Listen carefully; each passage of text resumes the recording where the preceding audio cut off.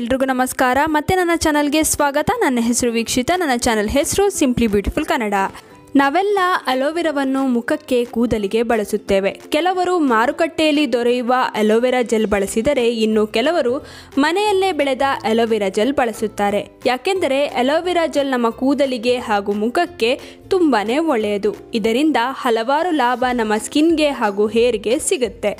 ಆದರೆ ನಿಜವಾಗಿಯೂ ಸಂಪೂರ್ಣ ಲಾಭ ಅಲೋವೆರಾದಿಂದ ನಮಗೆ ಸಿಗ್ತಾ ಇದೆಯಾ?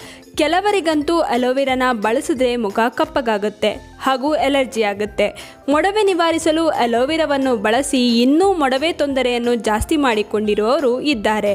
ಇದಕ್ಕೆ ಕಾರಣ ಏನು ಗೊತ್ತಾ? ನಾವು ಸರಿಯಾದ ರೀತಿಯಲ್ಲಿ ಅಲೋವೆರಾವನ್ನು ಬಳಸುತ್ತಿಲ್ಲ. ಹಾಗಿದ್ರೆ ಎಲೋವೆರಾವನ್ನು ಬಳಸುವ ಮೊದಲು ಯಾವ ಮುನ್ನೆಚ್ಚರಿಕೆಯನ್ನು ಪಾಲಿಸಬೇಕು? ಮಾರುಕಟ್ಟೆಯಲ್ಲಿ ದೊರೆಯುವ ಅಲೋವೆರಾ ಖರೀದಿಸುವ ಮೊದಲು ಏನನ್ನು ಗಮನಹರಿಸಬೇಕು? ಮನೆಯಲ್ಲಿ ಬೆಳೆದ ಅಲೋವೆರಾ ಬಳಸುವ ಮೊದಲು ಯಾವ ಮುನ್ನೆಚ್ಚರಿಕೆಯನ್ನು ಪಾಲಿಸಬೇಕು ಎಂದು ಇವತ್ತಿನ ವಿಡಿಯೋನಲ್ಲಿ ತಿಳಿಯೋಣ. ನಮ್ಮ ದೇಶದಲ್ಲಿ ಅಲೋವೆರಾವನ್ನು ತುಂಬ ವರ್ಷಗಳಿಂದ ಬಳಸಲಾಗುತ್ತಿದೆ. ಆದರೆ ಇವಾಗ ಮಾರುಕಟ್ಟೆಯಲ್ಲಿಯೇ ಅಲೋವೆರಾ ಜೆಲ್ ಸುಲಭವಾಗಿ ದೊರೆಯುವುದರಿಂದ ಇದರ ಬಳಕೆ ತುಂಬಾ ಹೆಚ್ಚು ಎಂದೇ ಹೇಳಬಹುದು.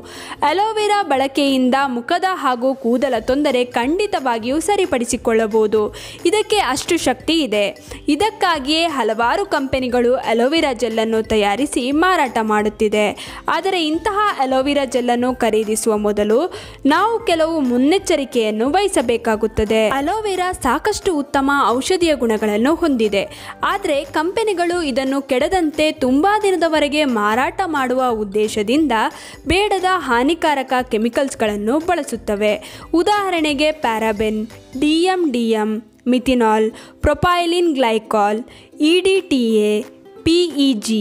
T C, ಬೇಡದ ಸುವಾಸನೆ, ಬೇಡದ ಕಲರ್, ಇನ್ನೂ ಹಲವಾರು ಹಾನಿಕಾರಕ ಕೆಮಿಕಲ್ಸ್ಗಳನ್ನು ಹಾಕಿ ಈ ಅಲೋವೆರಾ ಜೆಲ್ಲನ್ನು ತಯಾರಿಸಲಾಗುತ್ತದೆ. ಇಂತಹ ಹಾನಿಕಾರಕ ಕೆಮಿಕಲ್ಸ್ಗಳಿರುವ ಅಲೋವೆರಾ ಜೆಲ್ನ ಬಳಕೆಯಿಂದ ಮುಖದ ಮೇಲೆ ಮೊಡವೆಗಳು ಉಂಟಾಗುತ್ತದೆ. ಮುಖದಲ್ಲಿ ಅನಗತ್ಯ ಕೂದಲು ಬೆಳೆಯಲು ಶುರುವಾಗುತ್ತದೆ. ತಲೆ ಕೂದಲು ಉದುರುವ ಸಮಸ್ಯೆ ಎದುರಾಗಬಹುದು. ತಲೆ ಹೊಟ್ಟಿನ ಸಮಸ್ಯೆ ಉಂಟಾಗುತ್ತದೆ.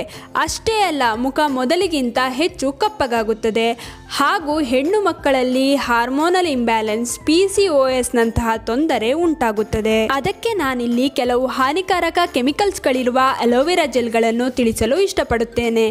ಅಂತಹ ಅಲೋವೆರಾ ಜೆಲ್ಗಳನ್ನು ನೀವು ಬಳಸುತ್ತಿದ್ದರೆ ತಕ್ಷಣ ನಿಲ್ಲಿಸಿ. Lakme aloe vera gel. ಇದರಲ್ಲಿ ಸಾಕಷ್ಟು ಬೇಡದ ಹಾನಿಕಾರಕ ಕೆಮಿಕಲ್ಸ್ಗಳಿವೆ. ಇನ್ನು Apollo aloe vera gel, good vibes ಅವರ aloe vera gel, Jiva aloe vera gel, Lever Ayush aloe vera gel, Nature Essence aloe vera gel, V L C C aloe vera gel, Banjara aloe vera gel, Body Cupid aloe vera gel, Himalaya aloe vera gel. ಇನ್ನು popular Patanjali aloe vera ಜೆಲ್ಲಲ್ಲಿ ಅಂತೂ ಕೆಲವು ingredients ಲಿಸ್ಟ್ಗಳನ್ನು hide ಮಾಡಲಾಗಿದೆ. ಆದರೂ ಇದರಲ್ಲಿ ಬೇಡದ ಸುವಾಸನೆ ಹಾಗೂ ಬಣ್ಣ ಅಂತೂ ಇದೆ. ಇವೆಲ್ಲ ಹಾನಿಕಾರಕ ಕೆಮಿಕಲ್ಸ್ಗಳಿರುವ ಅಲೋವೆರಾ ಜೆಲ್ಗಳು. ಹಾಗಿದ್ರೆ ಉತ್ತಮ ಅಲೋವೆರಾ ಜೆಲ್ಲನ್ನು ಆಯ್ಕೆ ಮಾಡೋದು ಹೇಗೆ? ತುಂಬಾ ಸುಲಭ. ಅಲೋವೆರಾ ಜೆಲನ್ನು ಖರೀದಿಸುವ ಮೊದಲು ಸಾಮಗ್ರಿಗಳ ಲಿಸ್ಟನ್ನು ಚೆಕ್ ಮಾಡಿ. ನಾನು ತಿಳಿಸಿದ ಯಾವುದೇ ಒಂದು ಸಾಮಗ್ರಿ ಇದ್ದರೂ ಅಂತಹ ಅಲೋವೆರಾ ಜೆಲ್ಲನ್ನು ಖರೀದಿಸಬೇಡಿ. ಇನ್ನು ಕೆಮಿಕಲ್ಗಳ ಬಗ್ಗೆ ತಿಳಿಯಲ್ಲ ಅನ್ನುವವರು ಉಚ್ಚಾರಣೆಗೆ ಕಷ್ಟವಾದ ಸಾಮಗ್ರಿಗಳಿದ್ರೆ ಅಂತಹ ಅಲೋವೆರಾ ಜೆಲ್ಲನ್ನು ಖರೀದಿಸಬೇಡಿ. ಹಸಿರು ಬಣ್ಣ ಅಥವಾ ಹಳದಿ ಬಣ್ಣ ಇರುವ ಅಲೋವೆರಾ ಜೆಲ್ಲನ್ನು ಖರೀದಿಸಬೇಡಿ. ಇನ್ನು ಅಲೋವೆರಾ ಜೆಲ್ನಲ್ಲಿ ಸುವಾಸನೆ ಇದ್ದರೆ ಖರೀದಿಸಬೇಡಿ. ಇವೆಲ್ಲವನ್ನು ಗಮನದಲ್ಲಿಟ್ಟು ಅಲೋವೆರಾ ಜೆಲ್ಲನ್ನು ಖರೀದಿಸಿದರೆ ಅದರಿಂದ ಯಾವುದೇ ರೀತಿಯ ತೊಂದರೆ ಆಗುವುದಿಲ್ಲ.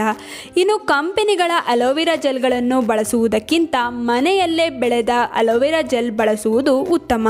ಆದರೆ ಕೆಲವರಿಗೆ ಮನೆಯಲ್ಲಿ ಬೆಳೆದ ಅಲೋವೆರಾ ಜೆಲ್ ಹಚ್ಚಿದರೆ ಸಾಕು ತುರಿಕೆ ಆಗುತ್ತದೆ ಮುಖ ಕೆಂಪಗೆ ಆಗುತ್ತದೆ. ಇದಕ್ಕೆ ಕಾರಣ ಏನು ಗೊತ್ತಾ? ಅಲೋವೆರಾ ಜೆಲ್ನಲ್ಲಿ ಇರುವಂತಹ ಹಳದಿ ಬಣ್ಣದ ರಸ, ಇದನ್ನು ಲ್ಯಾಕ್ಟಿಕ್ಸ್ ಎಂದು ಕರೆಯಲಾಗುತ್ತದೆ. ಇದೇ ಸ್ಕಿನ್ ಅಲರ್ಜಿಗೆ ಕಾರಣ ಮಾಡುವ ಪದಾರ್ಥ. ಹಾಗಿದ್ರೆ ಮನೆಯಲ್ಲಿ ಬೆಳೆದ ಈ ಅಲೋವೆರಾವನ್ನು ಹೇಗೆ ಬಳಸಬೇಕು? ಅಲೋವೆರಾದ ಎಲೆಗಳನ್ನು ಕತ್ತರಿಸಿದ ನಂತರ ತೊಳೆದು ಒಂದು ಗಂಟೆಯಾದರೂ ಹಾಗೆ ನೇರಕ್ಕೆ ಇಟ್ಟು ಬಿಡಬೇಕು ಇದರಿಂದ ಈ ಹಳದಿ ರಸ ಸಂಪೂರ್ಣವಾಗಿ ಹೋಗುತ್ತದೆ. ನಂತರ ಅಲೋವೆರಾವನ್ನು ತೊಳೆದು ಬಳಸಿದರೆ ಇದರಿಂದ ಯಾವುದೇ ರೀತಿಯ ತೊಂದರೆ ಆಗುವುದಿಲ್ಲ.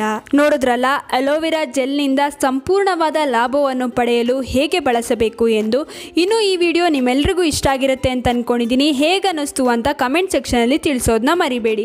ಆದಷ್ಟು ಈ ವಿಡಿಯೋನ ನಿಮ್ಮ ಫ್ರೆಂಡ್ಸ್ ಹಾಗೂ ಫ್ಯಾಮಿಲಿ ಜೊತೆ ಶೇರ್ ಮಾಡ್ಕೊಳ್ಳಿ. ಹಾಗೆ ಲೈಕ್ ಮಾಡೋದನ್ನ ಮರಿಬೇಡಿ. ನೀವಿನ್ನೂ ನನ್ನ ಚಾನಲ್ಗೆ ಸಬ್ಸ್ಕ್ರೈಬ್ ಮಾಡ್ಕೊಂಡಿಲ್ಲ ಅಂದರೆ ದಯವಿಟ್ಟು ನನ್ನ ಚಾನಲನ್ನು ಸಬ್ಸ್ಕ್ರೈಬ್ ಮಾಡ್ಕೊಳ್ಳಿ. ಹಾಗೆ ಪಕ್ಕದಲ್ಲೇ ಇರುವ ಬೆಲ್ ಬಟನನ್ನು ಕ್ಲಿಕ್ ಮಾಡಿ. ಹೀಗೆ ಪ್ರೋತ್ಸಾಹ ಕೊಡ್ತಾ ಇರಿ. ಪ್ರೋತ್ಸಾಹ ಕೊಡ್ತಿರೋ ನಿಮ್ಮೆಲ್ರಿಗೂ ತುಂಬಾ ಥ್ಯಾಂಕ್ ಯು